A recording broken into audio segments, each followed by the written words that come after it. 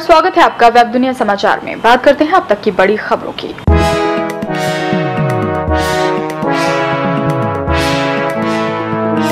उड़ी हमला, भारत को मिला अमेरिका का साथ, आतंकियों पर कार्रवाई करे पाक।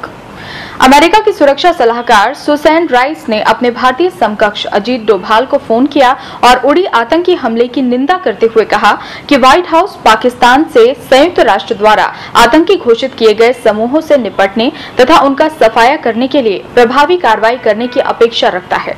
राष्ट्रीय सुरक्षा परिषद के प्रवक्ता नेड प्राइस ने कहा कि राजदूत राइस ने बार बार हमारी ये अपेक्षा दोहराई है कि पाकिस्तान संयुक्त राष्ट्र द्वारा आतंकी घोषित किए गए समूहों, व्यक्तियों और उनसे संबद्ध गुटों का सफाया करने के लिए प्रभावी कार्रवाई करे।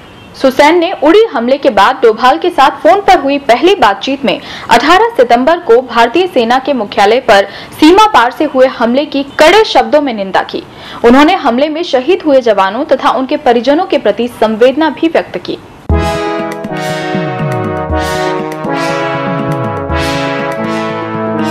नौ ग्यारह विधेयक पर ओबामा का वीटो खारिज। अमेरिकी संसद ने राष्ट्रपति बराक ओबामा को उस समय बड़ा झटका दिया जब नौ ग्यारह विधेयक पर उनके वीटो को ध्वनिमत से खारिज कर दिया गया। ओबामा ने नौ ग्यारह हमलों के पीड़ितों के परिजनों को सऊदी अरब के खिलाफ मुकदमे की इजाज़त दिए जाने वाले विधेयक के खिलाफ वीटो का इस्तेमाल किया था। इस वीटो के खारिज होने से आतंकवाद के प्रायोजकों के खिलाफ न्याय अधिनियम अब कानून बन गया है। प्रतिनिधि सभा में ओबामा के वीटो के खिलाफ 348 सांसदों ने मत दिया, जबकि उसके पक्ष में छिहत्तर सांसदों ने। सीनेट में वीटो के खिलाफ सत्तावन मत पड़े, जबकि उसके पक्ष में केवल एक ही मत रहा।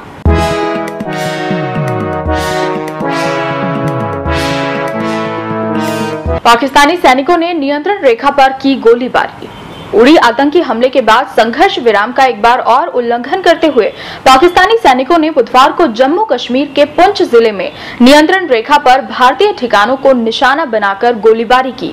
पुलिस अधिकारी ने कहा कि पाकिस्तानी सैनिकों ने शाम पुंछ ज़िले के साबजियान इलाके में छोटे हथियारों से गोलीबारी की। गोलीबारी में कोई हताहत नहीं हुआ। उड़ी आतंकी हमले के दो दिन बाद 20 सितंबर को पाकिस्तानी सैनिकों ने कश्मीर के इसी सेक्टर में सीमा पर संघर्ष विराम का उल्लंघन किया था।